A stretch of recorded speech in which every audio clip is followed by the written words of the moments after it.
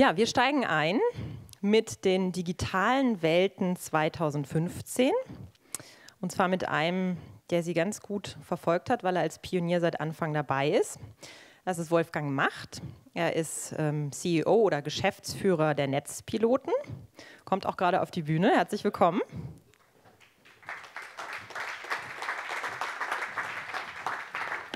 Tag. Tag. Netzpiloten kann man sagen, ist eine Traditionsmarke im Netz, gibt es seit 1995, also unglaubliche 20 Jahre. Wer sie nicht kennen sollte, ähm, wurde mal genannt der Fremdenführer im Netzdschungel. Heute könnte man sagen, so eine Art Scout, Trüffelschwein, um gute Sachen auszugraben, zum Beispiel Linktipps oder Webtipps zu Themen wie Social Media, Technik und Lifestyle. Wir haben uns vorab über den Titel unterhalten, der lautete Digitale Welt 2015. Und da haben Sie gesagt, äh, tut mir leid, das geht nicht. Digitale Welt im Singular können wir nicht nehmen. Wir müssen den Plural nehmen, digitale Welten. Warum eigentlich? Na gut, das wissen wir tatsächlich sehr, sehr genau, weil wir angefangen haben, praktisch als es ausschließlich um Websites ging, so Mitte der 90er Jahre, also um sehr langsame Websites, sehr, sehr schlanke Websites. Ne? Und wir da damals versucht haben, im Grunde Touren durchs Netz zu veranstalten, den Leuten das Netz beizubringen, zu einem Zeitpunkt, wo sie sich nicht auskannten. Und über die Zeit, also das ist sicherlich dann auch so ein bisschen die Rolle, die ich als Unternehmer natürlich erlebt habe, hat sich das natürlich ständig gewandelt. Also auch unser Angebot, äh, diese, diesen digitalen Wandel begleiten zu wollen, den Leuten zu helfen zu wollen, hat sich natürlich ständig in neue Bereiche erweitert. Ne? Also ein, angefangen von den Websites, dann jetzt sind wir in tatsächlich in sehr vielen Netzen unterwegs, also alles, was, was auf, äh, im Social-Media-Bereich passiert, was jetzt auf den verschiedenen Gerätschaften passiert. Ne? Da, das heißt, wir können eigentlich nicht mehr von so einer Mitte sprechen, auf die wir uns vereinigen können. Und vor allem, das ist sicher auch für uns das Problem als, als Beobachter oder Teilhaber, wir können auch jetzt nicht mehr einfach generalisieren, das alles ähm, so betrachten. Also dass wir sagen können, okay, wir kennen uns genauso gut aus, auch als Netzpiloten im, im äh, Internet, was das Web anbelangt, also wir sehen, was da los ist, als dass wir uns genauso gut auskennen würden bei YouTube oder im Social Media oder in diesen ganzen neuen Sachen, die jetzt gerade auftauchen. Ne?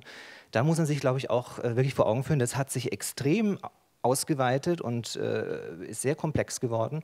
Und man braucht mittlerweile auch Leute, die da wirklich Experten in diesen einzelnen Kanälen sind und nicht mehr einfach generalisieren sagen können, also Netzexperte gibt es eigentlich gar nicht, weil eigentlich müsste man Experte sein nur für die Videowelt oder nur für die Social-Media-Welt oder was auch immer. Also für mich persönlich kann ich das sagen. Ich habe äh, sehr sch schnell lernen müssen, dass ich zum Beispiel durch diese Sozialisierung im äh, im World Wide Web, also eine sehr, damals ja auch sehr textorientierten Oberfläche, ne, sich also durch diese Seiten ähm, zu navigieren, dass ich tatsächlich so sozialisiert bin. Ich bin sehr textorientiert, weswegen zum Beispiel YouTube lange Zeit an mir vorbeigegangen ist. Das war für mich nicht besonders wichtig. Ne? Und nun wissen wir heute natürlich, dass äh, vor allem jüngere Generationen sich auf Websites gar nicht mehr bewegt, direkt zu YouTube geht oder es eh über andere Kanäle, über Chats und äh, Instant Messenger äh, sich miteinander austauschen. Mhm. Sie haben ein schönes Beispiel mitgebracht für eine dieser Welten, die es gibt. Und zwar, jetzt funktioniert es gerade nicht. Nee. Eine davor noch, genau. Die hier. Das ist das Social Media Prisma.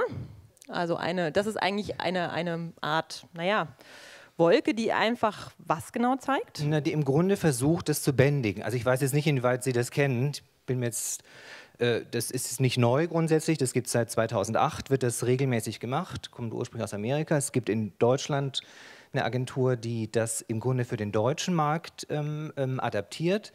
Ähm, also wir können das natürlich nicht im Einzelnen besprechen. Ich habe es Ihnen mitgebracht, falls Sie es nicht kennen, äh, als Inspiration. Ich gucke auf sowas immer wieder mal. Würde mal jetzt so aus dem Stand raus sagen, dass ich bestimmt so 80 bis 90 Prozent dieser hier gelisteten Dienste auch ein Login habe mir das zu irgendeinem Zeitpunkt mal angeguckt habe und mehr oder weniger nutze. Ähm, und es muss einem auch klar sein, dass das ist praktisch jetzt auf einen Markt äh, zugeschnitten. Das heißt, das Gleiche haben wir natürlich für China, für, für Indien. Dort existieren für all diese Dienste, die hier gelistet sind, entsprechende Äquivalente mit genauso vielen äh, Mitgliedern. Ne? Also man wir hier von Facebook reden und wissen, ich weiß nicht, oder, oder von WhatsApp, wo jetzt, weiß nicht, 800.000, äh, 800 Millionen äh, mitmachen, haben wir in China, ich weiß nicht, da ist WeChat, glaube ich, das größte, das sind auch 500, 400, 500 Millionen. Also wir haben es natürlich mit einer, einer absoluten Fülle zu tun. Und die habe ich jetzt ja praktisch als Unternehmer ähm, ausschließlich eigentlich über eine sehr starke wirtschaftliche Motivation kennengelernt. Also ähm, ne, dass wir sowohl diese einzelnen Channels sich ent inhaltlich entwickeln, was jetzt Wikis sind, was E-Commerce ist, was äh, Social Media ist. Das sind jetzt die ganz neuen Sachen. Da vorhin viel hier äh, hat Herr Vollmers genannt, das, ähm, das Neue jetzt mit, mit äh, YouNow, wo wir wissen, da gibt es jetzt schon drei, vier weitere dazu. Ne? Da gibt es jetzt Periscope noch dazu, da gibt es Meerkat, äh, kämpft sich gerade durch. Also wo dann plötzlich ganz neue Genres entstehen, die ähm, aus meiner Sicht jedenfalls natürlich wirtschaftlich wirklich äh, sehr stark orchestriert sofort auf den Markt kommen. Und wenn Sie sich ähm, Unternehmensgeschichten angucken, ähm, jetzt sowas wie Twitter zum Beispiel, ne, wo klar ist, jede kleine Studentengruppe, die im Silicon Valley irgendwas macht, wird sofort abgeholt, in der Regel von dem Prof selber schon und äh, wird in den entsprechenden äh, Marktentwicklungen ein, eigentlich ein weltweites Produkt innerhalb von wenigen Monaten aufgestellt. Und mit dieser Übermacht hat man es natürlich zu tun. Ne? Also ich kann mir ehrlich gesagt auch nicht vorstellen, ähm, wie Sie an diesem Ende teilnehmen können, also wie Sie mit den Unternehmen, die Sie ja dazu sicher nicht einladen, irgendwas zu regulieren oder, oder mitzudenken, sondern die ja, gerade wenn sie aus Amerika kommen, in, in der Regel sehr aggressiv vorgehen, sehr den Markt besetzen und eigentlich warten, wenn was passiert, wenn sich jemand entgegenstellt, klar, äh, reagieren sie, aber sie würden es ja nicht im Vorhinein tun. Also sie würden ja nicht ähm, ne, jetzt eine Institution einladen, um äh, das Produkt zu kreieren und äh, eventuell äh, sich bremsen zu lassen, auch in dem, was sie wollen. Das ist so, wie es jetzt ist. Sie haben noch was anderes mitgebracht, was sehr schön zeigt, wo wir herkommen. Also einmal hier ein Student im Jahr 1980 und einmal ein Student im Jahr 2010. Das erste, was mir aufgefallen ist, 1980, es ist noch kabelgebunden. Also der Herr hat genau. noch irgendwie einen Kopfhörer ja, auf. Genau. Also das könnte sein, die zum Beispiel die, die, die Lehrer, die um die 1980er Jahre genau. studiert haben, haben diese Mediensozialisation erlebt. Genau. Das ist ja, glaube ich, ganz wichtig. Ähm, also ne, wenn ich jetzt vorher für das Prisma vorher, wo ich sagen würde, okay, das wäre die unternehmerische Seite, da sehe ich als auch als, als Unternehmer, sehe ich, wie das eigentlich nur nach vorne geht, wie, das, wie Sachen in den Markt gepresst werden. Da hat man eigentlich keine Chance. Das heißt, man muss ja dann mit, was auch immer man kongenial da begleiten will, in, in regulierender oder erzieherischer Form, dann eigentlich beim Konsumenten machen, also beim Anwender. Und da haben wir natürlich äh, ganz stark die Thematik, das hier ist ein äh, Projekt aus Hamburg von einer Projektwerft, die ähm, seit einigen Jahren das immer wieder machen, dass sie so Prototypen ähm, sehr anschaulich darstellen in ihrer jeweiligen Mediennutzungssituation. Ne, und wenn wir jetzt genauso gerade, das wäre ein gut, gutes Beispiel, ähm, jemand, der im, in den 80er Jahren Student war, ist praktisch aufgewachsen, letztlich ohne Internet, ganz klar, das war alles noch nicht da, das Festnetz äh, war dominierend, ein bisschen Computer, ein bisschen Spiele und wenn der heute jetzt vielleicht sein Lehrer ist, irgendwo äh, ist der natürlich konfrontiert mit einer, mit einer Generation, die wir uns vielleicht auf einem anderen Bild angucken können. Ähm, in 2010 oder in 2010? Genau, eins noch weiter, weil die sind dann, das sind ja dann praktisch die. Das sind die, die noch kommen, ne? Genau, ja, aber da haben wir, genau, ne, wo wir jetzt die, ähm, die Fülle von Anwendungen haben mhm. und im Grunde ähm, da natürlich auch sicher ein Generations, eine Generationsthematik ist, ne? inwieweit man damit aufgewachsen ist und inwieweit man das, was vorhin auch ein Begriff war, praktisch native erlernt hat und wie, eine, wie Kinder halt eine Fremdsprache auch schnell lernen, mit diesen Sachen schnell umgehen können. Mhm. Also finde ich eine ganz gute ähm, Visualisierung oder Versuch einer Visualisierung, mit, diesem, äh, mit, diesem, mit dieser Vielzahl, mit dieser Fülle auch umzugehen. Mhm und würde für heute auch sagen, dass wir jetzt im Moment in einem Zustand sind, wo wir, glaube ich, die größten möglichen Anwendungen haben. Also wir haben, es ist ja kaum was weggefallen. Also die große Angst, dass das Internet ne, das Fernsehen äh, äh schluckt oder die, die Bücher weg sind oder die Tageszeitungen verschwinden, ist ja im En gros noch nicht passiert. In Ansätzen muss man da, kann man da sicher differenzieren. Das heißt, wir machen heute, alle machen alles und wir haben unterschiedlichste Nutzergruppen, die von äh, was weiß ich, großer Umarmung, die nur das Digitale äh, nutzen, bis hin zu denen, die sagen, das Digitale, E-Mails, Computer ist für mich Business, das mache ich nur im, im Berufszusammenhang und privat bin ich eigentlich auf den klassischen Medien.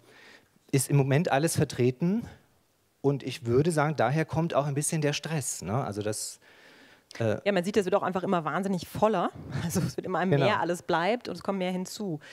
Wenn wir noch mal ganz kurz zurückgucken, ähm, so einen Blick zurückwerfen, wo das alles herkommt. Also Sie haben ja in den 90er Jahren zum Beispiel als Journalist auch gearbeitet. Genau. Und ähm, damals war diese große Frage irgendwie, dieses ominöse Ding, dieses Internet, wird das jemals etwas werden? Genau. Ähm, wie haben Sie das damals wahrgenommen, weil Sie jetzt auch die Entwicklung verfolgen können? Ja gut, ich habe es natürlich als ein, eine, eine, absolute Aufbruchsstimmung erlebt, also dass was ganz Neues kam.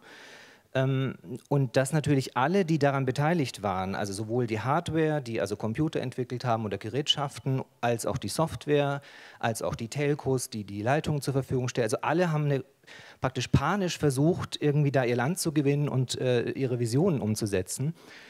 Und ähm, wie gesagt, für mich war das sehr unternehmerisch getrieben. Die erste Welle an Internetgründern waren komischerweise waren alle sofort darauf aus, Unternehmen zu gründen. Also es war bei uns nicht anders. Ne? Wir haben sehr schnell ähm, international, wollten international sein, hatten Büros in, in Mailand, in Paris, in äh, San Francisco.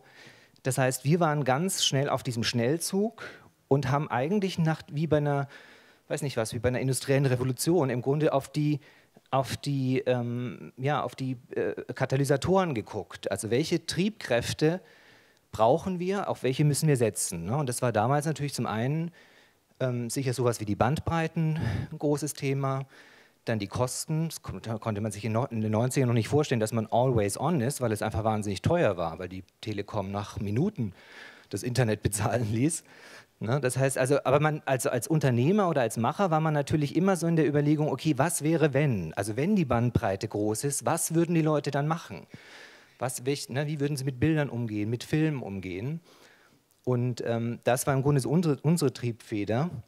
Und die andere Linie, würde ich sagen, ist natürlich, sind die Gerätschaften. Also wenn man, äh, was ich jetzt also tatsächlich in, der, in den 90ern als Journalist auch hatte, wo die große Diskussion war, ähm, kommt der Personal Computer, der gerade erst mal so sich etabliert hat, kommt der irgendwie in die Wohnung? Also, und in welcher Form? Kommt er als, als Gerät ins Arbeitszimmer? Kommt er irgendwie ins Wohnzimmer? Ne? Wird, er, wird er anders aussehen? Wird der Fernseher vielleicht eher sich aufrüsten und wird multimedial werden? Beide Wege wurden verfolgt. Also beide haben sich angestrengt. Ne? Irgendwie Löwe, Sony haben die Multimedia-Fernseher gebaut. Und die Computerindustrie hat versucht, den, den Personal Computer in die Wohnung zu kriegen. Und äh, letztlich hat der iMac hat es dann richtig geschafft. Der war dann schön und hatte Bonbonfarben und durfte praktisch mit ins Wohnzimmer. Und letztlich, also und das waren für uns große Titel, haben wir darüber diskutiert, wer gewinnt? Gewinnt das Fernsehen oder gewinnt der Computer in der, im Home Entertainment? Und aus heutiger Sicht würde man sagen, gewonnen hat das Tablet ne? oder, der, oder das, das Smartphone im Grunde. Und das ist im Grunde, also wenn man, wenn man sich die Entwicklung anguckt, wie also die Gerätschaft Computer immer näher an uns rankommt und wir es heute eigentlich in der Hosentasche ist. Genau, ne? Und eigentlich immer dabei ist. Ja. Und das ist wahrscheinlich auch das Stadium, das wir alle, denke ich mal, noch ziemlich unterschätzen. Also, dass wir jetzt praktisch eine Situation haben, wo alle dieses Gerät bei sich haben. Ne? Und das fangen wir jetzt ja gerade an zu erweitern mit Uhren, mit äh, Brillen und so weiter. Das Ding ist dann in der Tasche.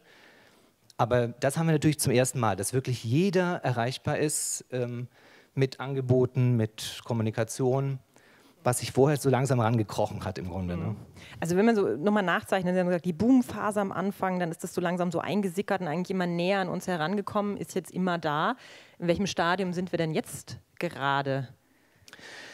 Also ich nehme es wahr als ein sehr, ähm, ja, ein sehr gestresstes Stadium. Also das, was, was Sie meinen mit emotionalem Teil, äh, begegnet mir immer in allen Diskussionen, wo ich merke, die Leute sind gestresst von dieser, von, diesen, von dieser Überzahl, von diesen ständigen Triggern, die ja positiv wie negativ kommen. Ne? Also ob ich jetzt die, die Apple-Werbung mir angucke und die toll finde und das Gefühl habe, okay, ich muss dieses neue Gerät kaufen oder ob mich meine Freunde ausgrenzen, weil ich nicht bei Facebook bin und äh, Einladungen nicht mehr mitkriege. Also wir kriegen ja von allen Seiten kriegen wir irgendwas äh, angepiekst, was mit diesen, mit diesen virtuellen Welten zu tun hat. Pubertäres Stadion, wenn wir gedisst werden von unseren Freunden, weil wir die Facebook-Einladung nicht mitbekommen. Ja, genau. Gestresst sein, das klingt so danach. Ja, und das ist so, also von daher würde ich schon sagen, das ist, äh, da beneide ich im Moment auch niemand, ne? auch, auch, kann, auch die Eltern nicht. Mhm sich da irgendwie da durchzuwuseln und dann, was weiß ich, natürlich ist es ein Aufschrei, wenn man dann hört, Gott, jetzt machen die, jetzt machen die YouNow. Ne? Man, Das sind Sachen, äh, die man jetzt nicht kennt. Wie,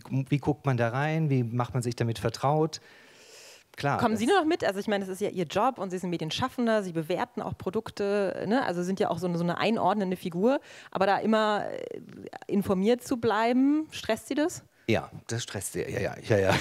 Also ich kann mich erinnern, das letzte war eigentlich war tatsächlich WhatsApp. Als das kam, da habe ich so einen kurzen Moment gewartet gesagt, okay, muss ich mir das angucken? Ist das wichtig? Ne? Und äh, dann gucke ich es natürlich tatsächlich unternehmerisch oder aus, aus, aus einer Macherperspektive, ähm, so wie ich jetzt auch Sachen wie, wie Snapchat oder so angucke ne? und sage, ja, das sind journalistische Formate geworden mittlerweile, die sind spannend, die, die finden wir auch toll. Wir wollen natürlich damit was machen. Ähm, also ich gucke das jetzt nicht als äh, Elternteil oder als, als Erzieher, ne? aber ähm, den Sachen hinterher zu rennen und praktisch äh, eigentlich da keine Ruhe zu finden und auch kein Ende abzusehen, weil eigentlich immer wieder eine Überraschung gut ist, die uns wieder äh, völlig umkrempelt oder völlige neue Nutzungsformen findet, die ist schon da, ja. Ja, da, da, gehen wir jetzt nochmal hin, mhm. äh, nämlich zu dem, was wir gerade eben gesehen haben. Jetzt wird es nochmal ein bisschen stressiger, weil natürlich immer mehr hinzukommt, das sehen Sie in den Wolken. Also wenn wir mal auf hier Lukas gucken, der Student im Jahre 2020. Das Erste, was mir dir auffällt, der hat schon gar keinen Laptop mehr unterm Arm, sondern hat ja. hier seine schicke Brille und wahrscheinlich seine äh, Smartwatch. Das heißt, der Trend geht hin zu... Ähm, Internet of Things, also dass, dass wir eben nicht mehr unbedingt ein, ein Gerät, ein Computer haben, um im Netz zu sein, sondern die Dinge uns damit auch verbinden. Genau, das ist sicher ein sehr großer Trend. Ne? Grundsätzlich, also jetzt auch zu diesen, diesen Zeichnungen, also ähm, ne, die, die ausführlich zu erklären, dauert tatsächlich recht lange. Da sind die Kollegen, die das machen, auch sehr gerne bereit. Ich kann das im, im, in Teilen nur tun. Aber ähm, und ist dann immer die Frage auch, was man dann, was man glaubt natürlich. Ne? Je weiter wir in die Zukunft gucken, klar, wir merken jetzt, der Trend zu den Gerätschaften an uns, also was wir gerade besprochen haben, ist sehr deutlich. Ähm, inwieweit es nach vorne geht, dass man sagt, okay, ähm, wir kommen irgendwann zu Biosensoren und äh, ne, da glaube ich, würden wir alle so ein bisschen den Kopf wiegen. Andererseits, wenn wir in die Medizin gucken, was dort bereits passiert mit, mit Medikation, mit Implantaten, also auch für, für äh, ähm, was auch ich, Insulinpumpen und alles Mögliche, wird das schon sehr deutlich durchbrochen. Wir haben auch den großen Trend nach wie vor, dass Leute sich ständig selber gerne vermessen, ne, ihre sportlichen Leistungen, ihre, ihren, Schlaf, äh, ihren Schlaf beobachten, ihre Gesundheit. Also da weiß man wahrscheinlich noch nicht, wo das hingeht und wie weit es dann noch, noch stärker eigentlich in die, in die körperliche äh, Ebene auch geht eine Sache, die mir hier auffällt, also Web 2.0 ist jetzt der Stand im Jahr 2010. Wir sind auf dem Weg zum digitalen Rhizom. Ich glaube, das muss man mal erklären. Oder wer von Ihnen kennt diesen Begriff schon? Wer kennt ihn? Schon mal gehört? Rot, okay, nein. okay, da müssen wir, glaube ich, erklären. Ich habe mal nachgeguckt, Begriff aus der Botanik. Da bin, ich jetzt aber, da bin ich jetzt aber sehr dankbar, muss ich sagen, dass du nachgeguckt hast. Ich habe nachgeguckt, ich dachte so, was ich ist dachte, das, um Gottes Willen, ich mm. weiß es nicht. Also, nachgeguckt, Begriff aus der Botanik. Ja. Sprossachsensystem, Ingwer zum Beispiel ist sowas. Mhm. Und es bedeutet, dass man gar nicht mehr unterscheiden kann, wo es herkommt. Also Wurzel und Trieb weiß man gar nicht mehr, was was ist sozusagen. Also die Idee ist, glaube ich, wenn ich es richtig verstanden habe, ein ständiger Austausch mit der Umgebung. Ja, also eben nicht mehr Spinnennetz, wo die einzelnen Punkte sind, sondern eigentlich ist alles ineinander verwoben. Ja, und das stützt natürlich diesen, ne, dass man diesen ganzen, dieses, diesen ganzen virtuellen Raum und wie die das hier halt machen als Wolken, tatsächlich, dass das immer, immer mehr uns umfängt und wir damit leben und umgehen. Und ähm, ich glaube auch, der Stress, den wir jetzt haben, kommt natürlich auch daher, dass wir mit vielen Gerätschaften arbeiten. Ne? Also ich will gar nicht fragen, wer hier mit, mit zwei oder mehr Handys operiert, also sowohl iPhone als auch mit Android, ne? womöglich sogar noch ein BlackBerry äh, benutzt.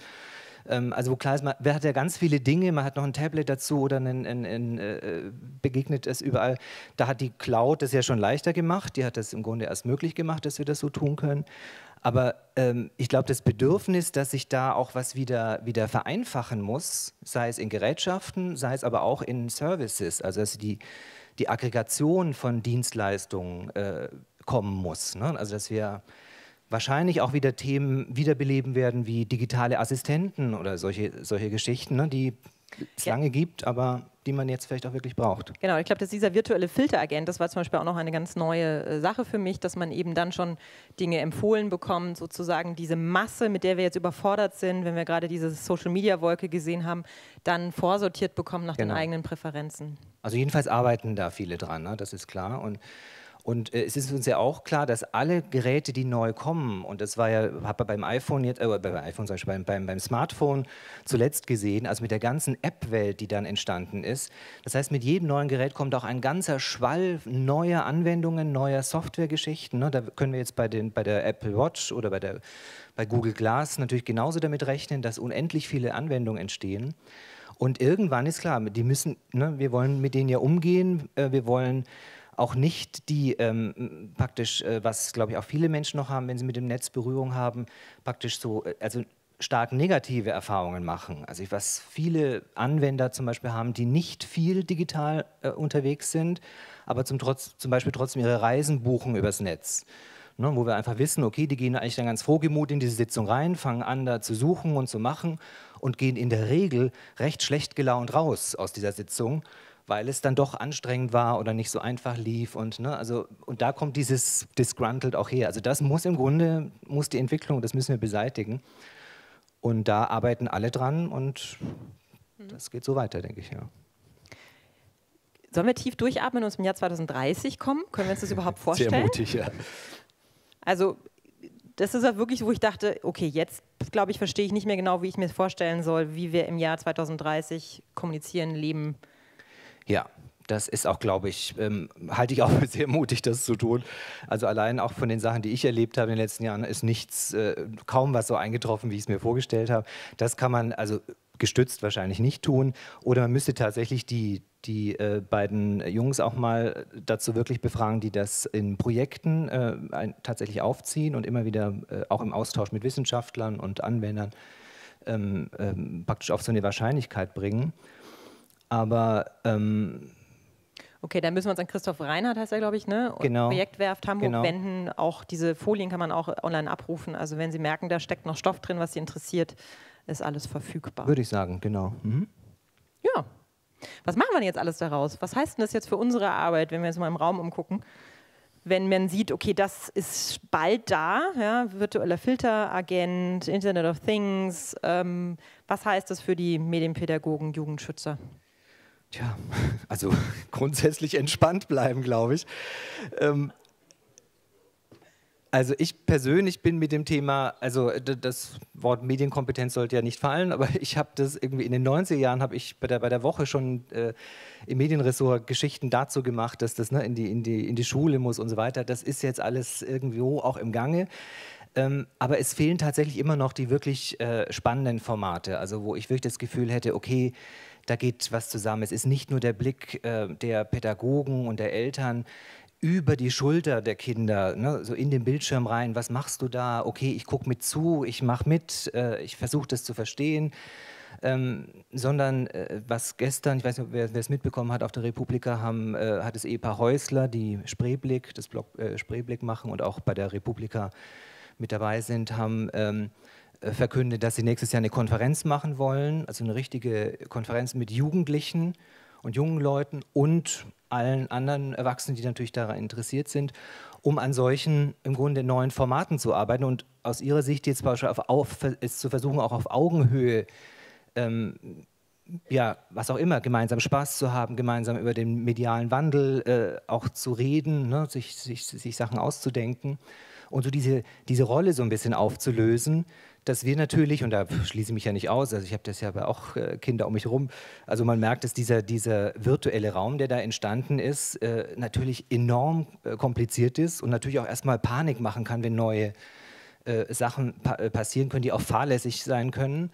Ne? Aber ähm, sich also da immer wieder zu ermahnen und zu sagen, okay, ne, ich habe grundsätzlich Vertrauen, ich habe die Kinder, die Kinder sind erzogen worden, die sind eingebettet, das wird schon gut gehen ähm, glaube ich, kann man mit solchen Formaten, wo man wirklich sagt, man macht mal Konferenzen, Festivals, wo man an diese Schnittstelle rangeht. Ne? Was, äh, was interessiert die an YouTube? Was machen die, wenn die chatten? Und Ne, wie ist es jetzt mit diesen neuen Formaten, die nicht so, äh, wo auch gebroadcastet wird, aber die Sachen hinterher verschwinden und nicht dauerhaft im Netz äh, überall herumkursieren? Also ich glaube, da muss man viel stärker in den Dialog gehen. Ja. Okay, Dialog gehen, entspannt bleiben. Und Sie haben vorher noch so an, an erwähnt, äh, wie entscheide ich, ob so ein Dienst irgendwie wichtig ist, ob ich mich damit beschäftigen muss. Da war, glaube ich, Ihr Entscheidungskriterium auch ein bisschen der unternehmerische Blick, den wir uns vielleicht abgucken können, ob man da jetzt drauf guckt oder ob man sagt, ist übermorgen wieder vorbei. Ja, den habe ich tatsächlich. Der ist ja nicht immer der, der schönste, muss man sagen. Ne? Also man hat ja manchmal auch Anwendungen, wo man sagt, ja, äh, braucht es die Welt? Dann guckt man sich die, äh, die Umgebung an, wer hat investiert, wer setzt drauf, wer steht vor der Tür, das zu kaufen, wem passt das irgendwo rein. Das äh, ist jetzt in unserer Welt natürlich, können wir das ein bisschen einschätzen. Und wo dann klar ist, okay, es wird stattfinden, ob wir es wollen oder nicht. Ne? Weil es einfach äh, für den Märkte anscheinend Sinn macht und es Käufer dafür gibt oder, oder äh, Abonnenten. Ähm, also da würde ich auch fast sagen, das geht natürlich auch ein bisschen über unsere Köpfe hinweg. Ähm, das ist ein rein, rein wirtschaftliches Movens. Und ähm, ich würde also für, für Anwendungen selber jetzt, also die ich für mich persönlich nutzen würde, immer im Grunde aus dem persönlichen Umfeld gehen. Ne? Also im Grunde wirklich die Zwiebelschalen, wer um mich rum was macht, was Neues empfiehlt, äh, dass ich mir das angucken soll. Das ist, glaube ich, nicht anders wie bei anderen Medien auch, ne? wo also die persönliche Empfehlung einfach die, die, die stärkste ist. Dann habe ich auch noch eine persönliche Empfehlung für Sie. Es gibt eine wunderbare Publikation der Netzpiloten, die liegt auch draußen. Die heißt Wir ohne Grenzen. Sehr auffällig, weil da ein Selfie vorne drauf ist. Das sich, unterscheidet sich rein visuell von bestimmten anderen. Ähm, ich finde es ein super Wörterbuch ähm, unserer digitalen Welten 2015, obwohl es sogar schon von zwei Jahren, glaube ich, jetzt ja. ungefähr alt ist. Ähm, das einfach nochmal ganz viel und ganz schön geschrieben in kleinen Sachen uns klar macht, um was es geht. So, vielen Dank, Wolfgang Macht. Sehr gerne.